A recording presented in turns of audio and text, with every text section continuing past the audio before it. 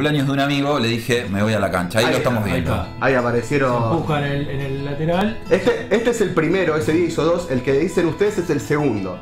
Acá mete un zurdazo así antiestético a lo Martín, pero súper efectivo. Y por acá, arriba, el 3 de Racing.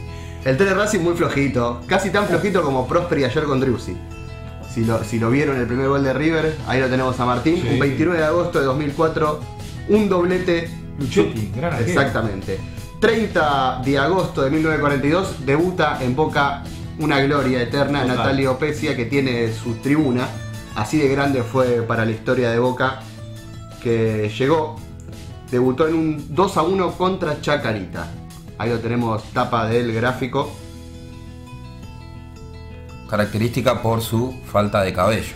Sí, de- desde, desde Cualquier foto que vos ves de un hombre así con la camiseta de Boca y la número 5 atrás decís es el Leoncito Pesia. 31 de agosto de 2005 Boca campeón de la Recopa, ¿no? Ya que se está hablando mucho de, de Recopa Sudamericana, bueno, primer título de los cinco consecutivos del Coco Basile. Sí, importante Boca venga la derrota, venga parcialmente la derrota con Once Caldas, ¿no? Exactamente. Pierde 2 a 1, pero había ganado en la ida, entonces se queda con la copa y vemos los festejos. Y un primero de septiembre, ya entramos en el nuevo mes de 1925, debuta en Boca Mario Fortunato, medio central de Boca Juniors. después fue entrenador. Exactamente, una victoria 2 a 0 Primer técnico campeón de la historia. sí, frente a Palermo.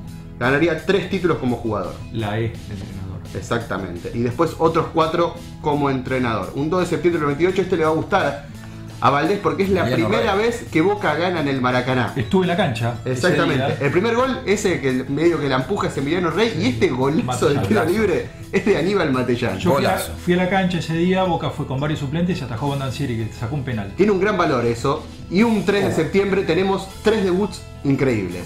En el 89, Blas Armando Junta. En este 1 a 1 contra Vélez, este gol de Humberto Gutiérrez. El Coyo. Ex Vélez. Exactamente. En este 1 a 1 debuta Blas Junta. Y ahora vamos a ver que en la misma fecha, pero en 1997, debutan contra Cruzeiro, Palermo y Bermúdez. Lo veíamos a Martín en el arranque de la escena y el que marca es justamente Bermúdez. Bermúdez. En su primer partido en Boca hace este gol. Gol del tiro libre del señor Solano. Palermo con la 25 jugó ese día. Exactamente. Bueno, qué decir de, de estos dos monstruos, ¿no? Uno el gran capital de la era de- dorada de Bianchi y el otro el máximo goleador de historia de Boca. Y cerramos las efemérides con el 4 de septiembre de 1973. Boca es finalista de América, el primer finalista argentino de la Copa Libertadores. Cae 3 a 2 en el partido de vuelta, pierde. Acá vemos, ya veíamos los primeros tres goles de Santos. Y después el gran San Filipo, que, que o sea, muchos no lo saben, también jugó en Boca y también hizo goles importantes. Hizo los tres goles de Boca en esa final. Exactamente, Boca pierde 2 a 1 en la ida, gol de San Filipo, pierde 3 a 2 en la vuelta, dos goles de San Filipo.